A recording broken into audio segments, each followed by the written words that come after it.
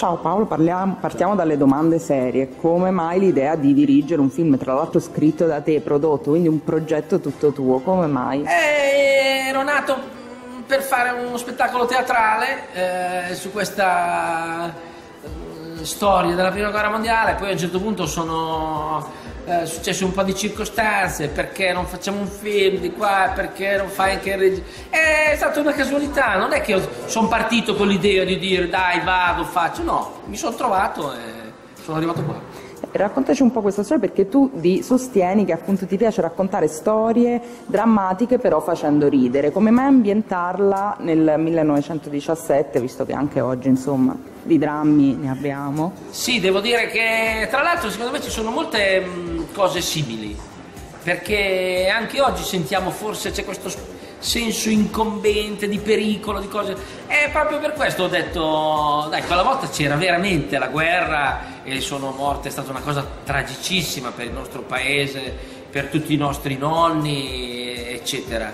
E, però oh, ci sono tante testimonianze, tanti diari, tante lettere, tanti libri, a me il mio nonno stesso, che mm, raccontavano che comunque anche in un momento così drammatico e tragico gli italiani sapevano alzare la testa, fare una battuta, ridere, trovare il modo di essere amici, di avere fratellanza. E ho detto forse questo può essere una bella cosa da raccontare. Ti sei basato un po' sui racconti di, di tuo nonno, visto anche sul Facebook c'è la Porca foto. miseria, eh sì, mio nonno mi raccontava, mi, eh, mi raccontava, di queste cose, ma mi raccontava anche che si facevano gli scherzi, si facevano finta che arrivassero gli austriaci, cioè erano ragazzi e vivevano la guerra, avevano ben presente che potevano morire da un momento all'altro eh, però questa cosa qui c'era. Poi la, diciamo, la, la, la generazione che c'era cent'anni fa forse era un po' diversa dalla nostra, forse era più semplice, aveva visto meno cose, per cui già mio nonno mi raccontava per esempio che quando gli avevano dato la divisa per lui era, già mio nonno aveva le pesti al culo, per cui immaginati la divisa già, le ragazze, insomma. Eh, parlaci di questo fantastico cast, dove li hai trovati questi ragazzi e soprattutto si, sembra che ci sia una armonia proprio tra di voi, cameratismo, ecco, userei questo termine. Diciamo che mh, il cast curato da Stefano Rodà, devo dire è stato proprio una scelta di prendere persone eh, che venissero dal teatro. Infatti il film è stato impostato proprio con una eh, caratteristica teatrale. Abbiamo fatto due settimane insieme prima del primo Chuck e siamo stati tutti e le cinque settimane di ripresa insieme. Abbiamo fatto sette come una compagnia teatrale. Abbiamo lavorato sui personaggi, abbiamo... io non, non sono non avevo mai fatto regia, io neanche a teatro nei miei spettacoli mi faccio la regia io, pensa a te. E quindi io nella mia ignorantezza ho eh, fatto l'attore con loro, mi sono messo assieme a loro dicendo io questa cosa qui la verrei così, io autore della sceneggiatura mi sono messo nei panni di, dei loro personaggi e assieme a loro è venuto fuori questa cosa, devo dire è stata molto bella perché gli attori hanno veramente raccontato loro stessi in maniera molto teatrale, no? è un film che si potrebbe fare a teatro, eh? sì, sì. cioè si potrebbe fare a rovescio perché molte volte ci sono i film che, eh, delle piste teatrali che diventano film, questo forse potrebbe essere... Hai un po' paura, allora eh, ti faccio questa domanda, se non temi un po' il pubblico cinematografico, che forse è un po' diverso da quello teatrale?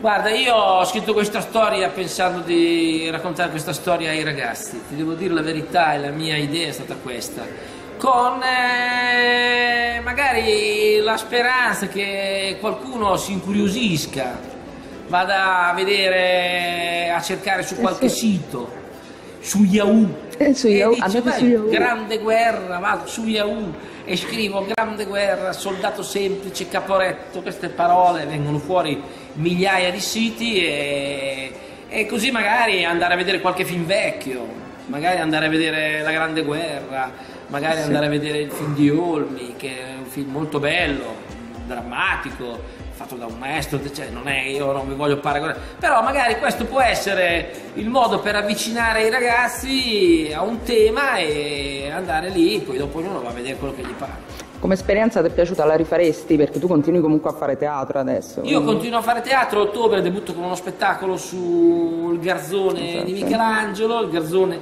balbuziente, che infatti si intitola Perché non parli? E mi piace molto il teatro, il teatro l'ho scoperto appunto pochi anni fa come esperienza teatrale, e- però mi piace anche il cinema. Spero, se tutto va bene, di fare un altro film, ho un sacco di idee, Quello è spero di ritornare indietro con i soldi, per cui andate a vedere, sono molto Ottimo. semplice, il 2 aprile andatelo a vedere, quella settimana lì, non quella dopo, perché la quella dopo può darsi che non ci siamo già più, speriamo che così almeno... Beh. Esatto, infatti ti volevo chiedere appunto di invitare la gente al cinema. È una piccola produzione, ma andiamo al cinema, soprattutto andiamo a vedere le piccole produzioni, Le premiamo e basta queste americanate. sì. su- Fast and Furious andiamolo a vedere, ma la settimana dopo, o quell'altra, o que- oppure quando va per televisione. Perfetto. Ti faccio un'ultima domanda sulle location bellissime, come le scelte, è vero che sono stati luoghi appunto dove veramente poi si è vissuta la guerra. Hai detto anche che vi hanno un po' accolto, insomma, la gente. Ci racconti qualche aneddoto? Ma guarda, devo dire, eh, abbiamo scelto di girare in Valtellina perché i posti sono molto belli, primo motivo. Il secondo motivo è perché sono stati eh, posti che sono dei scenario di battaglie, c'era proprio la linea del fronte sullo Stelvio. E il terzo motivo perché la gente ci ha voluto bene. E ci hanno voluto bene con i modi montanari, per cui non tanto però mangiare, bere, eh, il nebbiolo, il vino, zone da vino favolose, zone da, da bresaola, zone da bitto, da formaggi, da pizzoccheri. E la gente ci, ha, ci hanno fatto proprio compagnia, compagni di magnate, di bevute e di risate. Beh, ma io dico sì, la prossima volta se mi porti faccio sì. aiuto. Ok, Grazie mille. Grazie a voi.